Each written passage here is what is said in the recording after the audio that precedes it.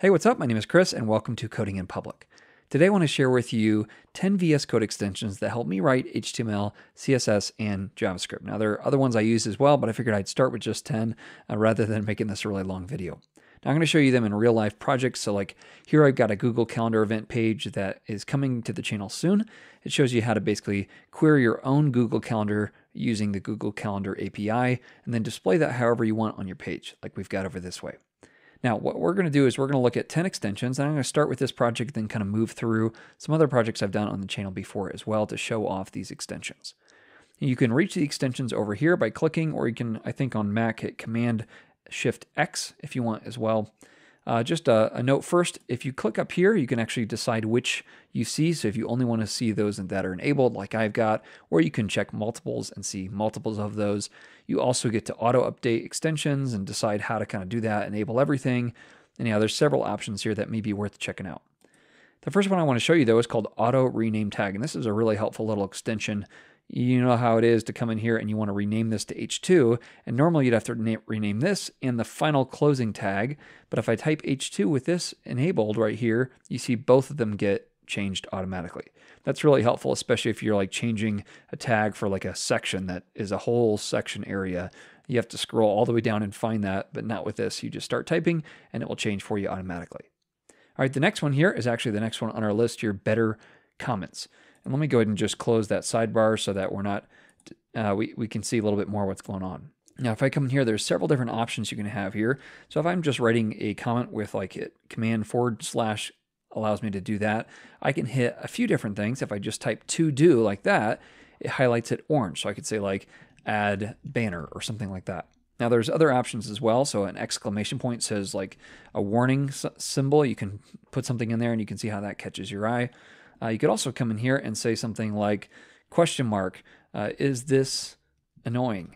Or something like that. You can write questions. And then the other one that's uh, enabled by default is like an info thing where you can type something in here. Now, this happens to be pretty close to the theme that I'm using, uh, this green, so that wouldn't distinguish itself very well, but you can customize these as well and actually add your own if you want to. All right, so that's the second one. Uh, the third one is something called CodeSnap right here. And you can basically take cool pictures of uh, your code. So let's close this and I'm going to jump over to my JavaScript file here. And let's just grab something like this. And if I hit Command Shift P, I can then look for CodeSnap and hit that. And it actually gives me a preview of what this would look like. And if I come over this way, I can actually move it and do whatever I want. So I can make it smaller like this, and it just automatically dynamically updates. And I'm ready, I click this, and it actually lets me save a PNG to my desktop or wherever, wherever I would want. All right, so let's close that out. So that's the third extension. The fourth extension is something called Color Highlight. Let me jump over here to CSS. And now in this project, I'm using Tailwind, but normally I would be using just normal CSS colors. So I can come in here and start typing whatever, and you can see even as I'm typing, it's actually updating in real time and showing me the color. Now it also works with, with things like HSL.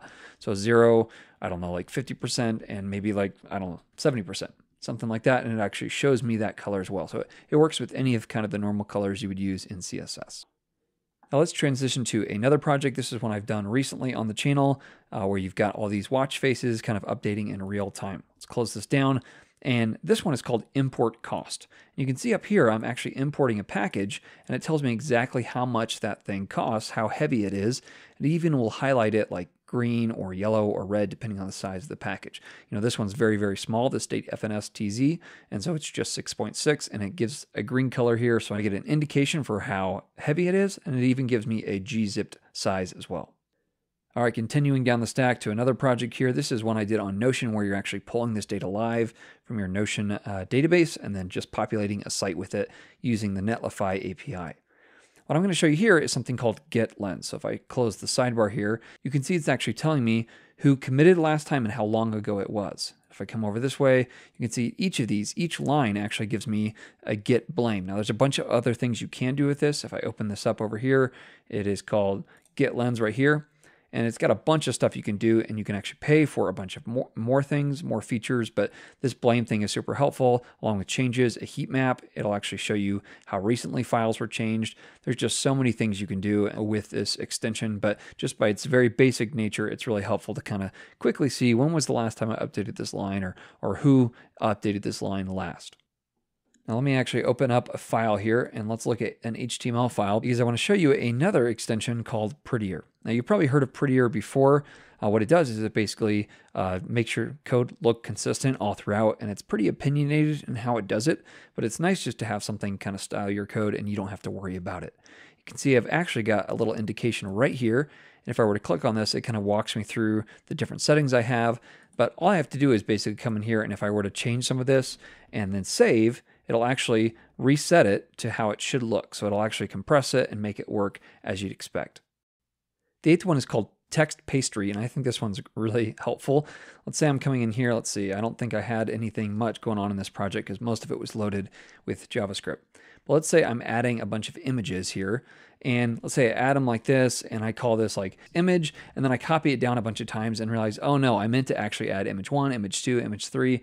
Well, you can actually go and grab multiple selections just with command option and then like the up arrow to grab this and then hit command shift P and type text pastry and you can do one to whatever or A to whatever or zero to whatever and you can use this in JavaScript you can use this in HTML, whatever you want. So here I'm going to do the 1 to X, and you'll notice it just gives me 1 to 8 for each of my cursors. So that's really helpful when you're building things out or you quickly just need to kind of iterate on something. All right, speaking of multiple cursors, let's go to one final project. This is one we did on reviews on the channel. Oftentimes in your JavaScript, you have different variables that are named something very similar. So like in this case, um, let's see, I've got this reviews variable right here. And let's say that I've got reviews here, I've got reviews here, and I want to change all of those to review and not reviews. I realize that I've made a mistake. Well, if I hit Command Shift L, number one, it will select every uh, version of reviews on the page, whether or not it's capitalized. But with this ninth extension called multiple cursor case preserve, what I can do is just start typing review, and you'll notice that here it's review, and here it's review with a capital R because it's preserving the case of whatever was selected. And that's happening all throughout the document, so I don't have to worry about making sure that I only select those that are lowercase, for instance, or uppercase. This handy little extension takes care of that for me.